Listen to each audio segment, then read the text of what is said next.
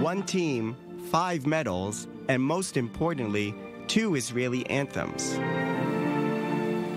Israel's top judokas are back in Israel after an historic showing in Abu Dhabi, in which they were allowed to compete in the Gulf states as equals for the first time. The athletes saying this was more than just a personal victory and could have an impact that goes beyond just sport.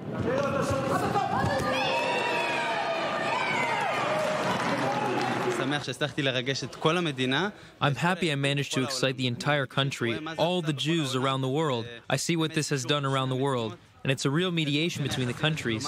It's progress in the diplomatic ties between Israel and the Arab states. And I hope that from here, the ties will develop further. After receiving fair treatment and gracious hospitality in Abu Dhabi, everyone seems happy with the chance to return the favor when Israel hosts its new Grand Prix tournament in January in Tel Aviv.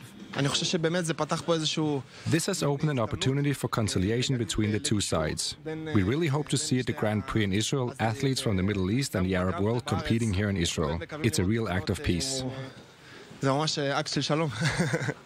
Maybe before Abu Dhabi, the chances of Arab athletes coming here were slim. Now I think there's a better chance. I really hope to see them here. Training resumes here at Israel's Wingate Institute, the National Institute for Sports Excellence. Despite the success, these athletes remain grounded and professional, role models for the next generation hoping to emulate their idols in what has become Israel's most successful sport.